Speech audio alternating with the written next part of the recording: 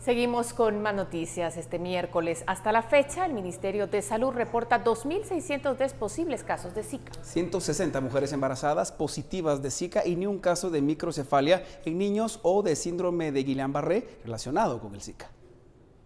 El Hospital Roosevelt brindó un informe preliminar sobre estadísticas relacionadas al Zika y reportó 36 casos confirmados, de los cuales 30 no presentan ninguna complicación. Los otros 6 representan a un niño con microcefalia causada por el contagio de la madre con Zika. Además, dos personas, una niña de 5 años y un adulto de 70 años, con síndrome de Guillain-Barré, una mujer con uveitis y dos mujeres embarazadas. El síndrome de Guillain-Barré es una enfermedad que afecta el sistema nervioso, causando parálisis y, en casos severos, la muerte por dificultades respiratorias. La uveitis es la hinchazón e irritación de la uvea. Es la parte del ojo que permite el flujo sanguíneo a la retina. Puede causar cataratas, desprendimiento de retina y ceguera. Tenemos mujeres embarazadas que una de cada mil que se infecta es lo que se estima ahora puede dar a luz un niño afectado por anormalidades congénitas neurológicas. La más común es la microcefalia.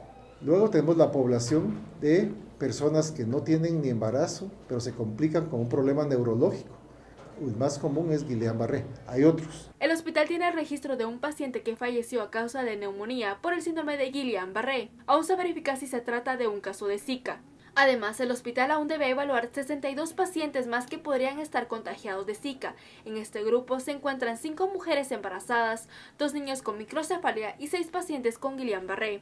Por su parte, el Ministerio de Salud ha informado que no tiene registros de síndrome de Guillain causados por Zika añadiendo que del 11 de noviembre de 2015 a la fecha se reportan 2.610 casos sospechosos de Zika en el país, registrando 160 casos confirmados de mujeres embarazadas, de estas 60 ya han dado a luz. Los recién nacidos ya han sido evaluados y se encuentran bien de salud. Por otra parte, los 16 niños evaluados con microcefalia, ni uno de los casos estaba relacionado con Zika. Por una Guatemala en paz, Ana Lucía Castillo y Juan Carlos Pérez. La Universidad de San Carlos, la Alianza Evangélica, el Congreso, el Ministerio de Ambiente, el sector campesino, el Ministerio Público, entre otros, son parte del diálogo por el agua para que pueda ser integrado a la ley de aguas.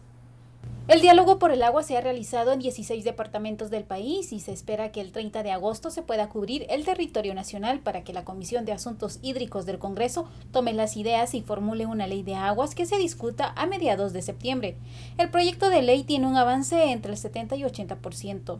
Toda actividad económica que use agua tiene que pagar por el uso del agua y esos recursos van a servir para proteger nuestros recursos y para descontaminar. Es importantísimo tomar en cuenta cuál es el uso, cuáles son los principios y valores que las comunidades campesinas aplican para el uso del agua.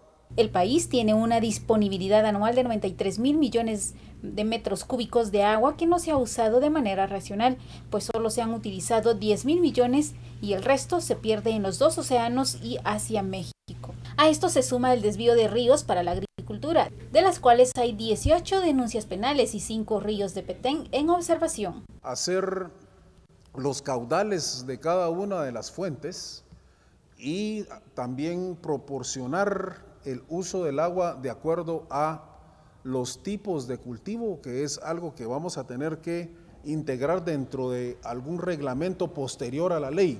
Falta por definir el tiempo de pena pero habrá sanciones económicas drásticas. El agua se está utilizando en la explotación minera, sea, se usa con cianuro para extraer los metales y se crean diques de cola con agua contaminada y que eso es un riesgo latente. Por una Guatemala en paz, Ana Lucía Morales y Luisa H.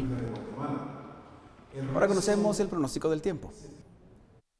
John Deere, en cualquier clima, somos su mejor opción. Presenta. Muy buenas noches. Las condiciones del clima para mañana jueves en el territorio guatemalteco. Pues vamos a continuar con fuerte ingreso de humedad, especialmente del Océano Pacífico. Eso podría dejar hacia el final de la tarde o comienzo de la noche continuidad de lluvias, no solamente en la costa sur, sino también en la meseta central y occidental, toda la franja transversal del norte, departamento de Petén y Zabal y los departamentos situados en el oriente. Conozcamos las temperaturas máximas y mínimas. La meseta central y occidental podría encontrarse entre los 23 a los 25 grados centígrados, esto al filo del mediodía temperatura fresca de 8 grados durante la noche y parte de la madrugada para Quetzaltenango y el departamento de Totonicapán. Departamentos situados en toda la costa sur, entre los 24 a los 33 grados centígrados. Chiquimul y Zacapa podrían subir a los 37. La costa de Jutiapa podría subir a los 33 grados centígrados, Petén a los 36 grados centígrados, Quiché con 23, 27 en las Verapaces y 32 grados para el departamento de Izabal. Conozcamos el pronóstico del clima para los siguientes tres días. Esto en el Valle de la Ciudad Capital, del día jueves al día sábado. Lluvia intermitente hacia el final de la tarde o comienzo de la noche. Cálido, 25 grados centígrados al mediodía. Mínima durante la noche entre los 16 o 17 grados. Mañana tendremos los primeros rayos de sol desde las 5 horas con 49 minutos. Anochecerá a las 18 horas con 23. Que tenga usted muy buena noche. Le saludó Marisol Padilla. John Deere, un socio en el que puede confiar, presentó.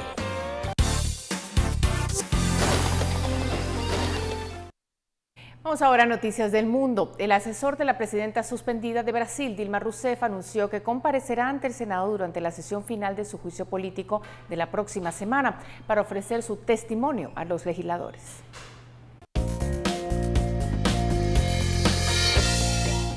Gusto acompañarle como todas las noches con los detalles del acontecer internacional. Ampliando esta noticia, el asesor agregó que Rousseff piensa que es importante para el proceso dar una explicación y hablar con los senadores. La sesión final del juicio político contra Rousseff, quien está acusada de violar las leyes presupuestarias de Brasil, está prevista para el 29 de agosto. Apartada de su cargo desde mayo, Rousseff fue acusada de tener responsabilidad penal en los retrasos de las transferencias de fondos del Estado al Banco de Brasil por la actividad de cosecha de granos y por dictar decretos para emitir créditos adicionales sin la autorización del Congreso. La suspendida presidenta niega haber cometido delito alguno y se sostiene que las acusaciones son una maniobra política. Un incendio fuera de control que se declaró en un área montañosa del condado californiano de San Bernardino arrasó más de 6.000 hectáreas y forzó la evacuación de al menos 82.000 residentes de más de 45.300 viviendas. El jefe del Departamento Forestal y de Protección contra Incendios de California aseguró que los bomberos y servicios de emergencia no han logrado por el momento contener las llamas. Más de 700 agentes trabajan sobre el terreno para controlar el siniestro.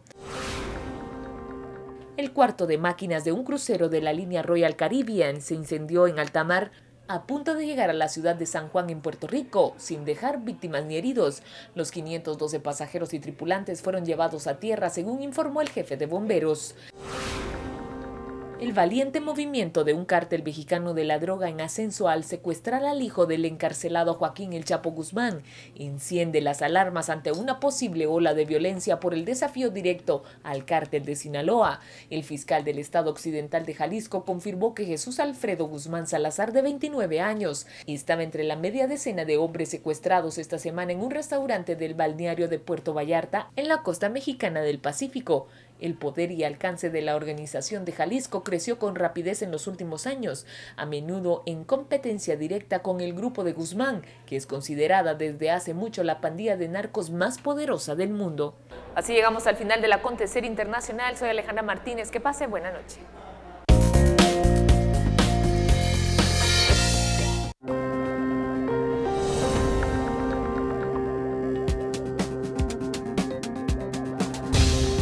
En actos religioso políticos, empresarios y religiosos también oran por Guatemala.